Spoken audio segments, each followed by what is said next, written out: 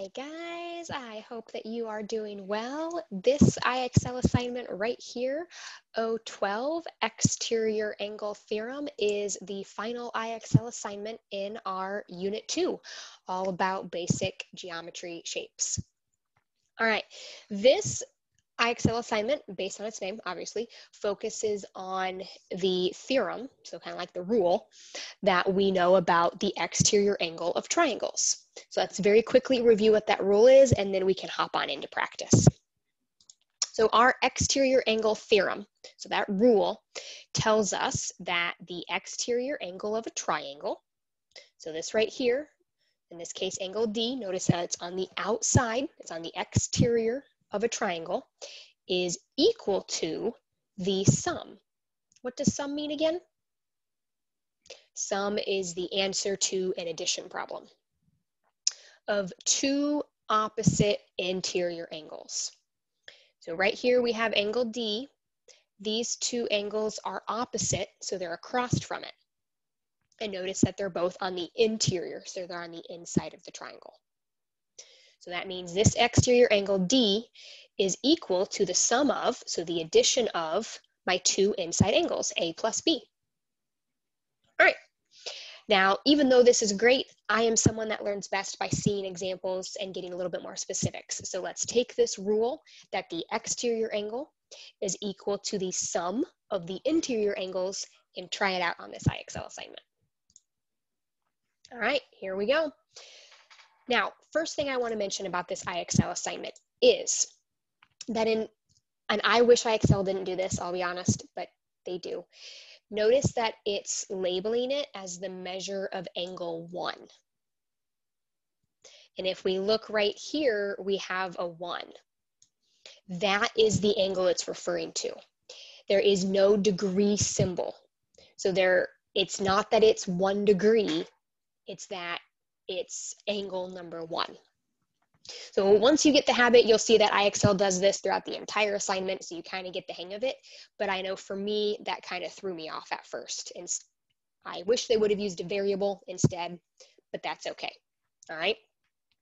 So we just learned that the exterior angle, which in this case is this one right here, because notice that it's on the exterior, it's outside of my triangle. That angle is equal to the sum. So remember, sum means addition, the answer to an addition problem, of my two interior angles that are across from it. So in this case, 31 and 78. All right, that means to find my missing exterior angle, I just need to add these two numbers together. So what would be 31 plus 78?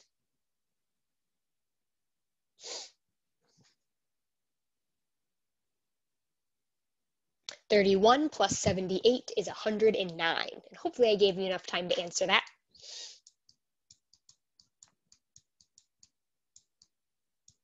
Let's make that more like an equal sign. There we go.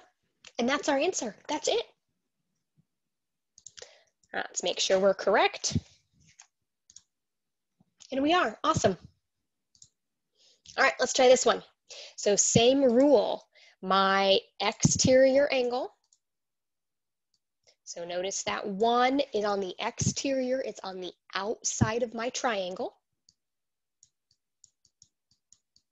is equal to the sum, so addition, of my two interior angles. So in this case, 62 and 41. All right, so once again, we just need to add. What is 62 plus 41? 103. So our missing exterior angle, number one, is equal to 103 degrees. Bravo. Very good. All right, um, let's see if we can get a different type of problem. But I think if I jump, it's not going to give us that. All right, so let's just answer another one of these real quick and see if then we can get another sample. But hey, the more examples, it's not going to hurt anything. All right, the first thing we need to ask ourselves, and I'm going to phrase this one differently, is what are we given? Are we what are we given and what are we trying to find? In this case, we are trying to find an exterior angle and we are given the two interior angles. So what does that mean we need to do? We need to add them up because those two will equal the exterior. So 90 plus 35 is 125 degrees. Wait, why am I writing 120? 125 degrees. All right.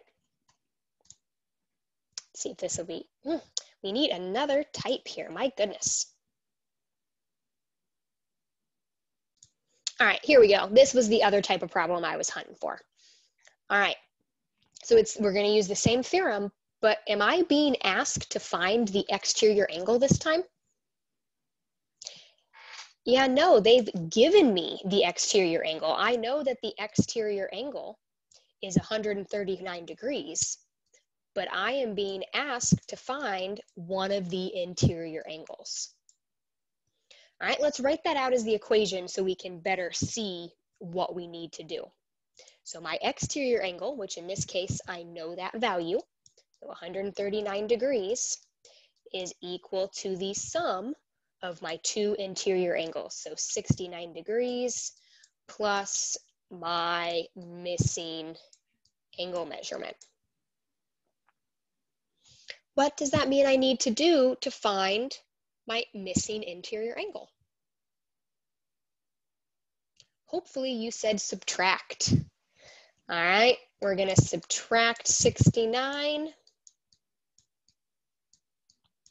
So what is 139 minus 69? 70. So 70 is our missing interior angle. And if you were ever unsure and wanted to double check, how could you verify that you found the correct answer? You could basically substitute it, plug it back in. So say, all right, I know that 70 and 69 have to equal my exterior angle. So is 70 plus 69 139? It is. So that means we didn't make a goof and accidentally subtract wrong. All right. So when you're working on this assignment, those two types of problems, so the first three that we did, and like this one, where you're trying to find the exterior, or like the one we just did where you're given the exterior and therefore you have to subtract to find the interior are what you're going to get all the way up into about the smart score of a 70 range. Once you get past 70s, you will get into more of a challenging problem. So that of course is where it's up to you on whether you want to keep your smart score of a 70, which is a B in the gradebook, still a great grade, or whether you want to challenge yourself to try to get that smart score of an 80 or a 90. So let's finish this video by doing one of those problems. All right, so yeah, so right here, right about when it gets to 75 is when you hit that challenge zone. All right, this time, instead of knowing my angle measurements, all of my angle measurements are an expression. But the rule still applies. That theorem, the exterior angle theorem, still applies. And that exterior angle theorem tells us that our exterior angle, so our exterior angle is Z plus 45 is equal to the sum of my two interior angles. So Z and then Z minus 50. Oops.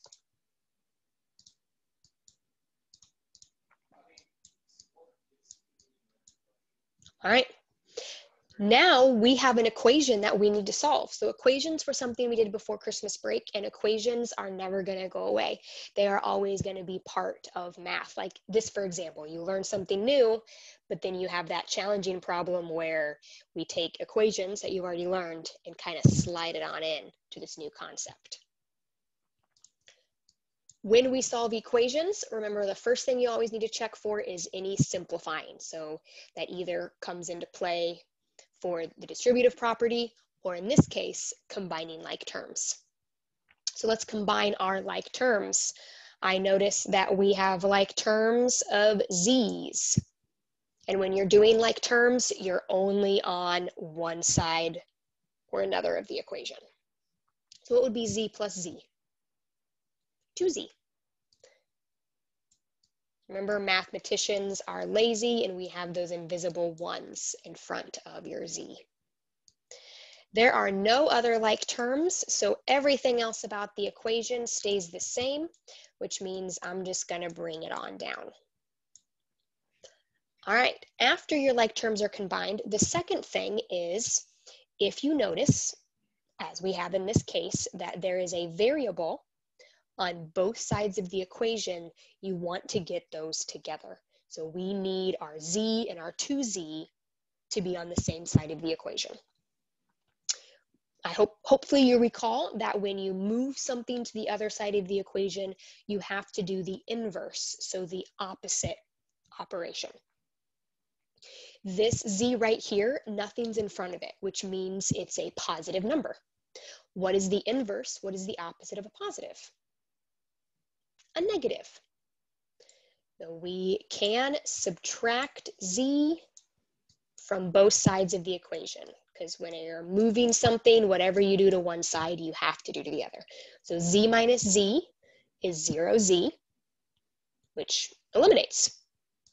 We're left with a 45. 2z minus z would just be 1z. And then bring down your negative 50. All right, we're almost done because when you solve equations, you're trying to get that variable isolated. You're trying to find the value of the variable. So in this case, z. z is almost by itself. What do we need to do? Yeah, we got to get rid of that minus 50. Whenever you move something to the other side, the inverse operation is performed. So if we're subtracting 50, the inverse of that would be adding 50. Add 50 to both sides. 45 plus 50, 95. And that's equal to z because negative 50 plus 50 eliminates. So we answered our question. We found the value of z, it is 95. Let's just make sure. There we go.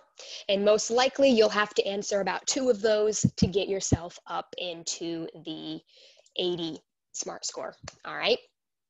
If you're trying to shoot for that 100%.